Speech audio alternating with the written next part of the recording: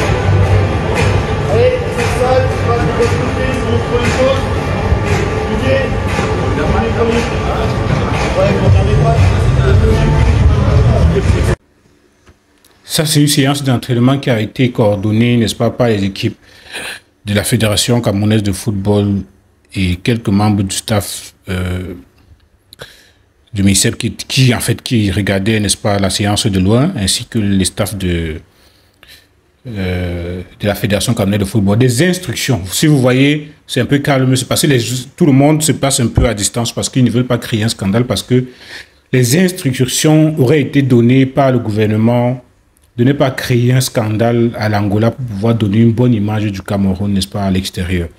Donc, je suis sûr et certain que les gens qui veulent se montrer forts là, de l'autre côté, que ce soit du MINSEP, que ce soit de la FEDCAFOOT, personne ne créera de scandale, personne ne fera un coup qui pourrait ternir l'image du Cameroun à l'extérieur. Parce qu'en fait, ils savent que si quelque chose se passe à Luanda à l'extérieur, c'est tout le monde entier qui sera au courant. C'est la même chose qu'au Cameroun. Quand il y a une décision qui se passe, une décision, n'est-ce pas, mitigée, une décision euh, illégale, c'est tout le monde entier, n'est-ce pas, qui, euh, euh, qui, qui, qui, est au courant. Donc si aujourd'hui vous posez la question à certaines personnes à l'extérieur, qui est Samuel Eto'o, qu'est-ce qu'il subit actuellement au Cameroun, ils vous le diront sans, sans état d'âme. Donc, des instructions auraient été données aux membres, n'est-ce pas, aux émissaires du gouvernement de tout faire pour qu'il n'y ait pas de scandale. J'avais dit qu'on ne veut pas de prise de tête entre l'Africa Foot et le MICEP parce que tout est filmé, tout est, etc. Et c'est dans une terre étrangère. Il serait important et voire primordial de préserver l'image du Cameroun à l'extérieur. Et c'est ça qui est le plus important. Le Cameroun, tout ce qui, tous les, les insultes que les gens font là, ils vont parti, le Cameroun va rester.